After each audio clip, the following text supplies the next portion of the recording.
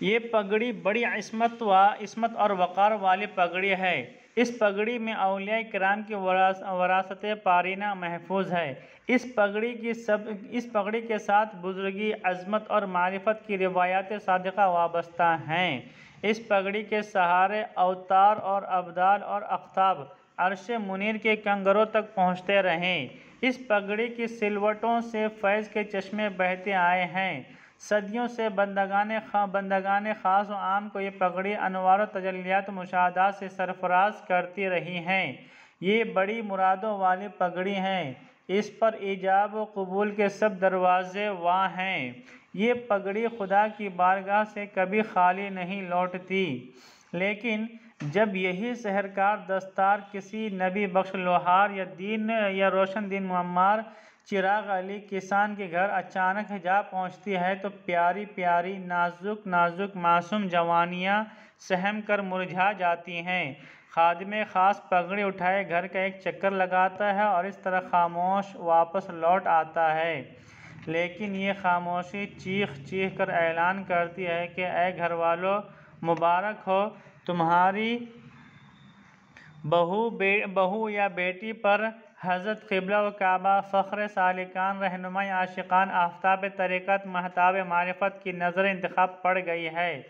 अब अगर तुम चाहते हो कि तुम्हारे नसीबों पर रहमत खुदाबंदी का साया कायम रहे, तुम्हारी खेतियाँ सरसब्ज लहराती रहें, तुम्हारे झोपड़ों को आग न लगे, तुम्हारे मवेशी गुम न हो तुम्हारे दालान में हथकड़ियाँ न झंझनाएँ और जेल खानों के दरवाजे तुम पर अचानक वाह न हो तो बरज़ा व रगबत। डैश। ठीक है, देखिए, इस पैराग्राफ में कहते हैं कि ये जो पगड़ी है अभी जो हमारा सज्जादा नशी अपनी पगड़ी उतार कर खादिम ख़ास के हवाले कर दिया, है ना? तो ये पगड़ी की क्या है हकीकत? तो उसके बारे में कहते हैं, ये पगड़ी जो है बहुत ही इज़्ज़तदार है, बहुत ही इज़्ज़त वाली पगड़ी है। ये पगड़ी जो है अलिया कराम का वा, पुराना वर क्या है, पुराना मीरास है। इसके अंदर बुजुर्गी, अजमत ग्रेटनेस मारिफत, इलाही की सच्ची ट्रू ट्रू रिपोर्टिंग से कनेक्टेड है। यानी बिल्कुल ये पगड़ी जिसके पास होगी वो खुदा का बुरगुजीदा बंदा ग्रेट पीपल होगा। उसके इस पगड़ी के सहारे बहुत से अवतार, अबदाल, अखताब अलिया अल्लाह अल्लाह उनके अलिया अल्लाह, अरश मुनीर के एकदम बुलंदियों को पहुँच चुके हैं। इस पगड़ी की सिलवट में जो भी रिंकल्स हैं, उस रिंकल्स में ब्लेसिंग्स की ब्लेसिंग्स के चश्मे, यानी फाउंटेन बहते हैं। सदियों से बंदगान, खुदा बंदगान, ख़ास आम को ये पगड़ी अनवार तजलियात और मुशाह से सरफराज करती हैं। ये पगड़ी जो भी, जो हैं, वो सदियों से इंसानों को, चाहे वो ख़ास आम, ख़ास हो या आम हो, हर बंदा को अनवार तजलियात खुदा के, खुदा का अनवार तजलियात और मुशाहदात कराता है। कराता कराती आई है ये पगड़ी। ये बड़ी मुरादों वाली पगड़ी है। यानी ये ऐसी पगड़ी है जो कोई इसके वास्ते दुआ करता है, अल्लाह ताला उसकी दुआ कबूल करता है। ये हकीकत नहीं है। इसके बारे में लोग इस तरह समझते हैं। ये हमारा राइटर बयान कर रहे हैं। ओके? इस पर इजाब व कबूल के सब दरवाजे वहाँ हैं। ठीक है? लोगों का मानना है कि ये ऐसी पकड़ी है कि जो हम इसकी तवसत से अगर कोई दुआ मांगे तो हमारी दुआ कबूल हो जाएगी।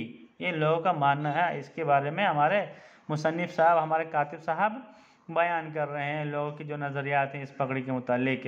ये पगड़ी ये पगड़ी खुदा की बारगाह से कभी, खुदा की बारगाह से भी खाली नहीं लौटती। यानी इसके वास्ते, इसके तवसल से जो भी दुआ मांगी है, अल्लाह कबूल करता है, कभी भी ये खाली नहीं लौटाती, इंसान को मायूस नहीं करती।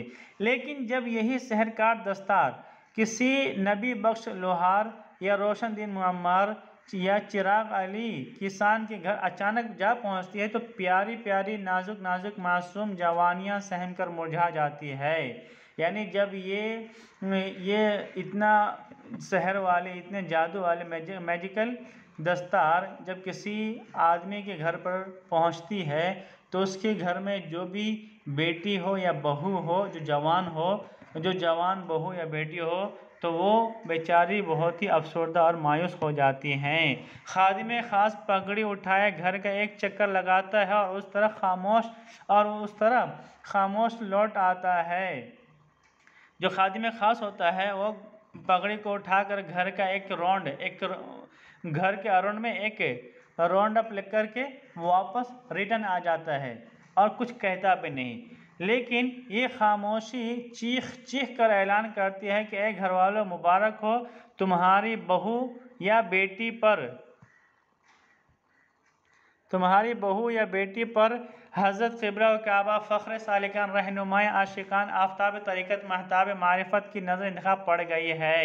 यानी ए लोगों, तुम्हें खुश होना चाहिए कि तुम्हारी बेटी को या फिर तुम्हारी बहू को या तुम्हारी बीवी को हमारे शेख ने कबूल कर लिया है, पसंद कर लिया है, हमारे सज्जादा नशी ने कबूल कर लिया है।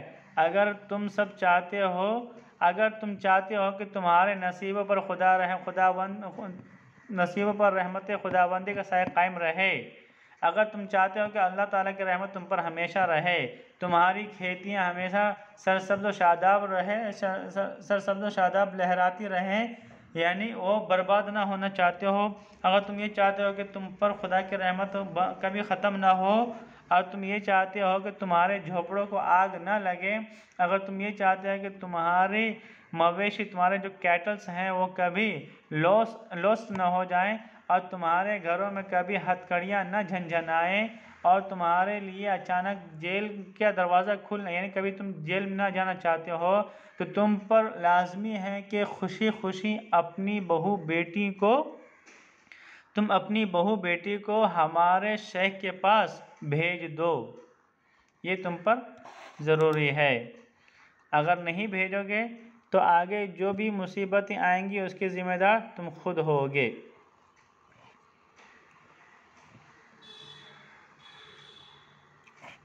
मालिक, हमारे घर पगड़ी आ गई है। खुदा के लिए मुझे बचाओ। अस तरफ़ सकीना, दुख्तर ग़ुलाम मोहम्मद रजबाना। ये मुख्तसर सा ख़त मुझे एक रोज़ डाक में मिला।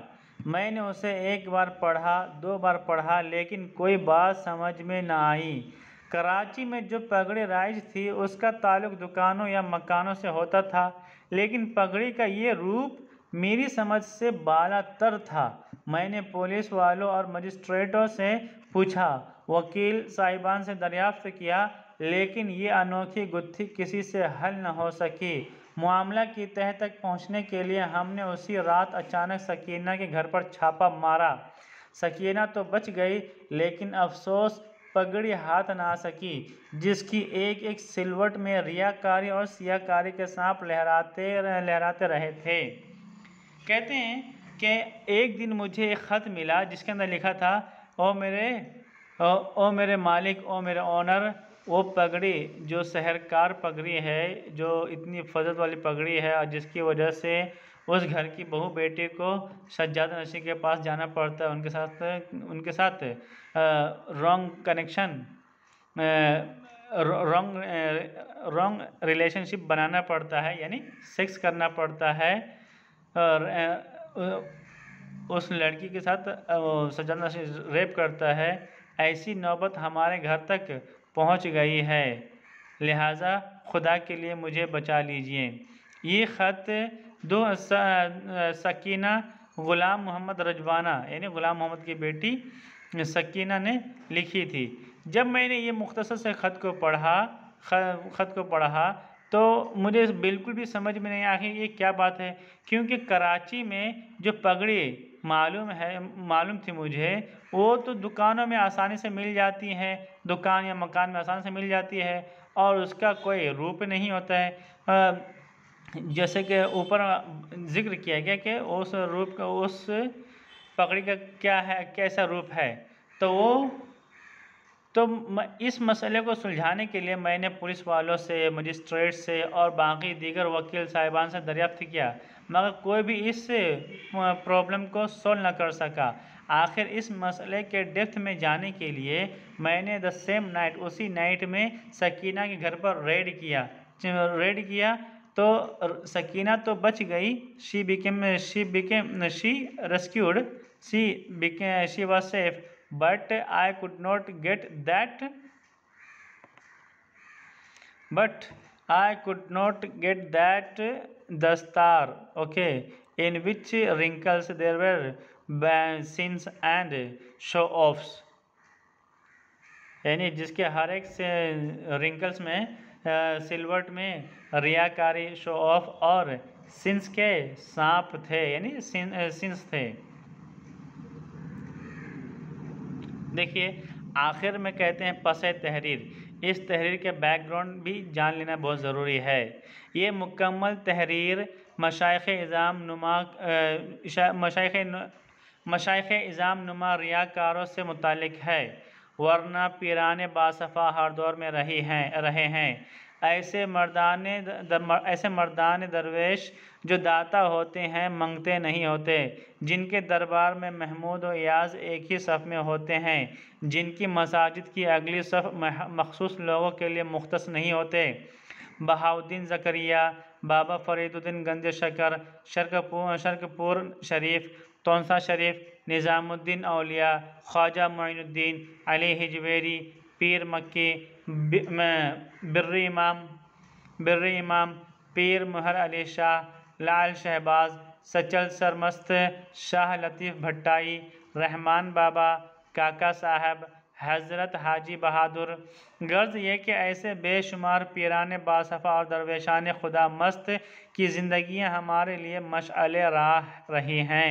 बेशक निगाह मर्द मोमिन से बदल जाती हैं तकदीरें। देखिए, इसके अंदर कहते हैं कि ये जो ये जो ऐसे है, ये जो आर्टिकल है, ये उन लोगों के बारे में है। ये ऐसे और ये आर्टिकल उन लोगों के बारे में है जो रियली रियली वली नहीं है, दरवेश नहीं है, शेख नहीं है but they are showing off that they are Sheikh okay जो हु एक्टिंग लाइक शेख शेख होने का ड्रामा करते हैं एक्टिंग करते हैं, उनके मुतालिक है, क्योंकि क्योंकि हर टाइम में पीरान बासफ़ा दे में बिकॉज़ इन एवरी टाइम पीरान बासफ़ा इज़ फॉन्ड है ना हर टाइम में पीरान बासफ़ा जो होते हैं, वो मौजूद होते हैं। क्योंकि ऐसे पीरान बासफ़ा वो होते हैं जो लोगों को देते हैं, बांटते हैं, उनसे कभी मांगते नहीं। कि उनके दरबार में महमूद व अयाज हमेशा एक ही सफ़ में, एक ही रो में होते हैं। ओके, महमूद के लिए अच्छी जगह और अयाज के लिए एकदम बैकवर्ड जगह ऐसा उनके दरबार में नहीं होता है। और उनके मस्जिदों में मस्जिदों की अगली सफ़ें मखसूस लोगों के लिए फ़िक्स नहीं होती, बल्कि जो जहाँ चाहे वहाँ बैठकर अपनी मुरादें हासिल कर सकता है। उन पीरान बासफ़ा में बहाउद्दीन ज़करिया, बाबा फरीदगंज शकर, शर्कपुर शरीफ, तोनसा शरीफ, निज़ामुद्दीन अलिया ख्वाजा मोनुद्दीन अली हिजवेरी, पीर मक्की बर इमाम, पीर मेहर अली शाह, लाल शहबाज सचल शाह सचल सरमस्त शाह लतीफ़ भट्टाई, रहमान बाबा, काका साहब, हज़रत हाजी हज़रत हाजी बहादुर, ये सब के सब बिल्कुल नेक और साल खुदा खुदा के नेक बंदे थे वली अल्लाह थे। गर्ज ऐसे, गर्ज ये कि ऐसे बेशुमार पिरान बासफ़ा और दरवेशान खुदा मस्त की ज़िंदगियाँ हमारे लिए मशल राह रही हैं। ऐसे लोगों की ज़िंदगी हमारे लिए वास, लाइट बीन, अले। मशल राह मतलब light of path okay beacon light of hope and become light of life बेशक निगाह मर्द मोमिन से बदल जाती हैं तकदीरें। कातिब का कहना है कि बेशक अगर मोमिन की निगाह पड़े हम पर तो हमारी तकदीर संवर जाती हैं, अच्छी हो जाती हैं।